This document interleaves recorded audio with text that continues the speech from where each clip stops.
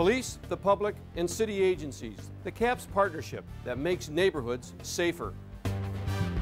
I'm Peter Carl, and this is Chicago Crime Watch. When a drug conspiracy case ends, a new phase begins for police and residents working to restore their community. It's not a quick or easy process, but each victory is a cause for celebration. We look today at one recent victory on Chicago's South Side. A boarded up house is not typically a welcome sight, but in this case, and on this block, it is. When I arrived that day to serve the warrant to this gentleman at this house, actually the neighbors started to come out and clap. The board up and sale of 5437 South Winchester is a major milestone in the revitalization of this block. The road to revitalization began in 2005 with a drug conspiracy operation called Clownfish. This, this house here was the focal point of the mission. Many of the hand-to-hand transactions occurred right in front where there was children actually present. A lot of people were standing out in front. Children would be walking back and forth. Uh, one gentleman actually held a child as he made a narcotics transaction. Police had enough evidence to charge 14 people for drug dealing on and near 5437 South Winchester. They did not have enough evidence to charge the house's owner, Richard Young.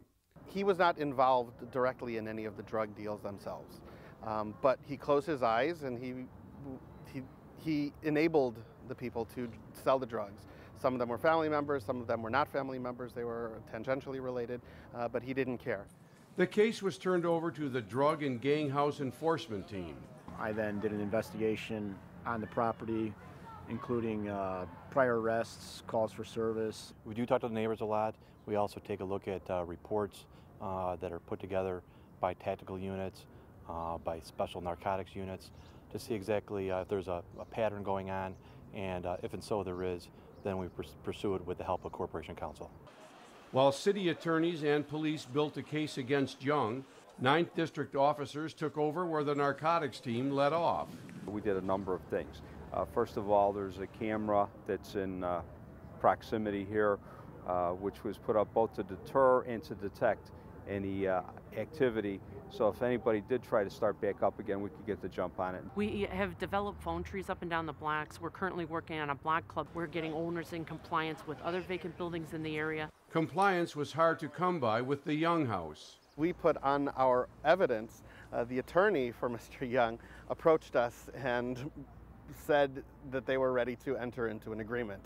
Uh, and one of those agreement, one of those parts was that they would sell the property to NHS for $85,000 within two months. He never did anything to move it forward to selling the property to NHS. Uh, so we ended up having to file a case in circuit court for failure to comply with an administrative order. For his failure to comply, Young not only was forced to sell the house, he was fined $30,000 and sentenced to four days in jail. This mission serves purpose to uh, every property owner in the city of Chicago that not only are we targeting uh, open drug, open air drug markets, but we're also coming up to the owners that are allowing and facilitating drug, drug sales to come in and around their property. Neighborhood Housing Services will now rehab the house and sell it to a qualified buyer.